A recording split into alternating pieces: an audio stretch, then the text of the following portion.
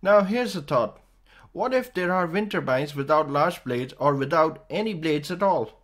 In that case, we would be able to install these aerogenerators almost anywhere. Wind turbines currently provide a good chunk of global electricity production. Despite the slowdown due to pandemic, 2020 was the best year in the history of the global wind industry with 93 gigawatts of new capacity installed. This brought the total capacity to 743 gigawatts in the year 2021. This growth has been due to the installation of very large wind turbines, which cannot be installed near built up areas and urban regions. So there's a gap in the market. In this video, we're going to look at aerogenerators that seek to plug that gap. On this channel, Synergy Files, we aim to inspire you towards engineering and sustainability. Subscribe to get all of our updates. Horizontal axis wind turbines or HAWT are the main workhorse of the wind industry. Although there have been other types of turbines, but HAWT remain the preferred option because of their higher efficiency and better performance. It has to be said that they are very complex machines in which larger gains are made with bigger size. Therefore, the trend over time has been to develop bigger and bigger turbines. The average size of the new turbine is around 3 megawatts and above. These by no means can be installed near or inside built environments and urban populations. The large wind turbines require untrammeled wind with little turbulence. But what if there's a device that can actually make use of wind funnels in an urban environment and can benefit from the turbulence in the wind created by the obstacle. A device that is easy to place on top of buildings or on pavements, sidewalks, or on road islands, and doesn't require much footprint.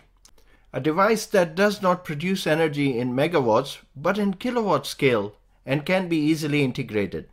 Well, it turns out there is now indeed such a machine. The name of Vortex Bladeless has developed such wind energy generators. It is essentially a column made out of recycled plastics that oscillates as wind passes by it. This oscillatory motion is then converted into electricity through a linear alternator. This generator is omnidirectional, that is, it can convert wind energy coming from all directions without changing its orientation. The vortex bladeless has two main parts. The top column oscillates while the bottom column is fixed. It doesn't have a gearbox and therefore does not require any lubricants. The maintenance costs are also minimum. The oscillation of structures due to passage of wind is a well-known phenomenon.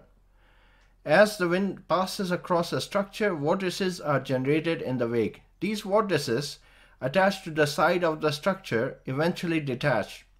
At a certain speed, the detachment of the vortices isn't simultaneous, but alternates between the sides.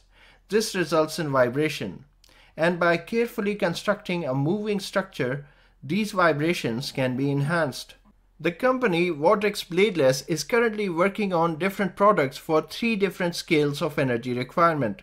There is a 1 meter long generator called the Vortex Nano, which generates just 3 watts of power. The 2.75 meter long structure called the Vortex Tacoma gives 100 watts of nominal power output. And lastly, there is the Vortex Atlantis, which is a much larger structure of height 9 meters and generates 1 kilowatt of power. The amount of energy harnessed grows exponentially, squared by the height and cubed by the wind speed. However, it is obvious that in contrast to horizontal axis wind turbines, for the same footprint, the oscillating column wind energy generator produces a lot less. Having said that, it has its own set of advantages. Firstly, it is mechanically much simpler. It can work over a range of speeds from very low to very high in residential and urban environments. And unlike the HAWT, it is safe for birds. Another advantage of the vortex turbines are the low costs. It is estimated that the vortex turbines levelized cost of energy or the LCOE will be lower than traditional turbines which will allow faster return on investment. This claim however needs to be investigated to be more certain.